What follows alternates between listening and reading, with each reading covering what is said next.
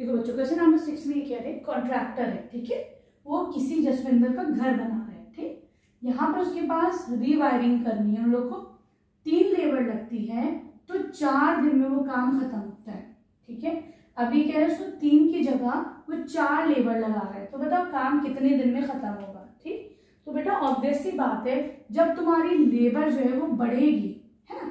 Task वही है। Suppose करो तुम्हें वॉल बनानी है मेरे पास जो है तीन लोग हैं, ठीक? और चार दिन में वो वॉल बन रही है। अगर मैंने क्या करा, अपनी लेबर इंक्रीज कर दी, मैं बोलूँगी, अब तीन ही मेरे पास अब चार लोग काम करेंगे।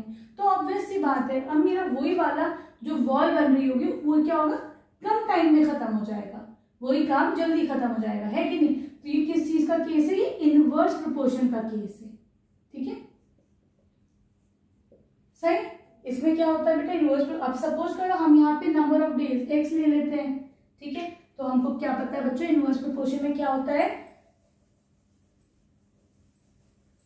अगर सपोज़ करो this is X and this is Y तो X one into Y one is equal to X two into Y two होता है कि नहीं? X one Y one is equal to X two Y two और ये क्या होता है? कॉन्स्टेंट होता है, ठीक? तो देखो हम कर सकते हैं थ्री इंटू फोर किसके बराबर हो जाएगा? फोर इंटू एक्स के। सही? तो यहाँ पर क्या होगा? Three into four upon four कर लो। सही? तो यहाँ पर देखो एक्स की वैल्यू कितनी आ जाएगी?